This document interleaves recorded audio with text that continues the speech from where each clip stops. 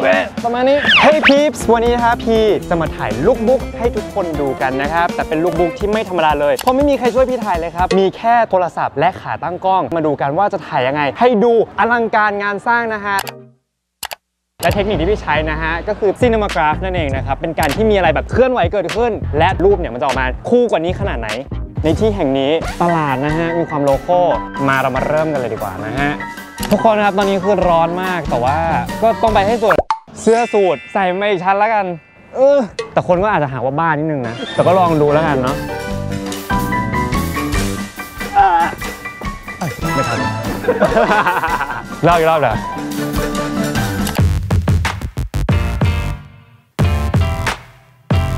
โอเค เราก็มาอยู่ข้างในกันเหมือนเดิมแล้วนะครับ ตอนนี้ผมว่าอยากได้ความเคลื่อนไหว อาจจะแบบผมหรืออะไรอย่างเงี้ยเออแต่เห็นตรงนั้นเขามีพัดลม ยืมคุณลุงแล้วนะครับ เพราะฉะนั้นขโมยครับ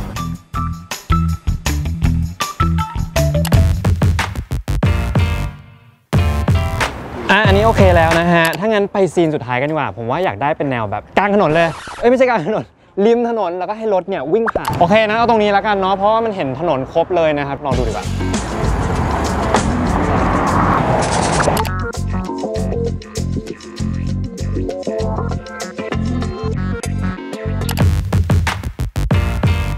ห็นไหมครับว่าการถ่ายลูกบุ๊กเนี่ยมันง่ายมาก ไม่ว่าคุณจะอยู่ที่ไหนนะครับก็สามารถถ่ายลูกบุ๊กสวยๆได้ และเทคนิคที่พี่ใช้นะฮะก็คือจินตมากราฟนั่นเองนะครับใครอยากรู้นะฮะว่าทำยังไงก็พิมพ์มาหลังใหม่ได้เลยนะครับเดี๋ยวพี่จะแอบกระซิบบอกให้เจอกันใหม่ครั้งหน้า